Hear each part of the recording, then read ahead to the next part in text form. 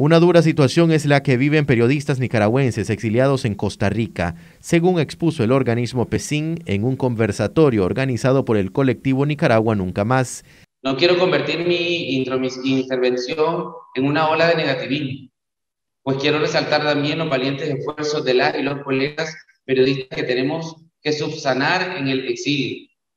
donde se ven cortadas nuestras posibilidades laborales por la no validación de nuestros títulos o peor aún en el caso de muchos estudiantes que se le borraron sus registros académicos, impidiendo su graduación y enviando a la basura todos los años de estudios universitarios. Es también tedioso y el largo y forzoso esfuerzo migratorio el que ha obligado a muchos colegas periodistas a regresar al país aún con las dificultades que se enfrentan exponiendo sus vidas y su integridad personal. Pero también es de aplaudir que colegas que se aglutinan entre sí están gestionando sus recursos económicos a través de emprendimientos como lo es ventas de comidas, agencias de publicidad y otras labores que no tienen nada que ver con el ejercicio periodístico.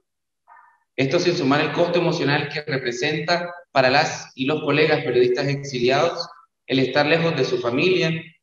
y de su círculo más cercano. En el evento participó el relator de la CIDH para la libertad de expresión, que destacó el compromiso invaluable del periodismo nicaragüense en el contexto que vive el país desde el 2018. El periodismo nicaragüense es resiliente, el periodismo nicaragüense es valiente, el periodismo nicaragüense es necesario. Al periodismo nicaragüense no solo le estamos muy agradecidos los organismos internacionales, porque sin su trabajo no podríamos hacer el nuestro. Es decir, en el momento en el que se llegara a pagar, espero que eso no suceda nunca, las voces que documentan y hacen reportería y periodismo desde Nicaragua, va a tener un impacto porque va a, dejar de haber flujos de información para una observación internacional rigurosa,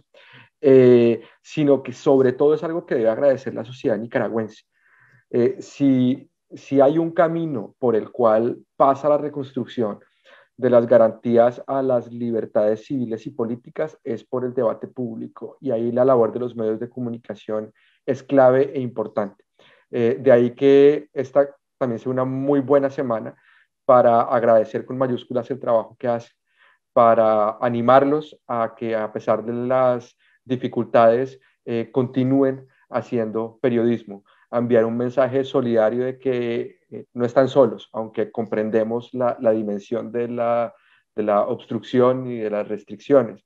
eh, y a que sin duda puedan continuar con, un trabajo que además es un, es un trabajo en un entorno donde los costos son altísimos, los costos en la tranquilidad personal, los costos en la tranquilidad familiar. Marcos Medina, Noticias 12.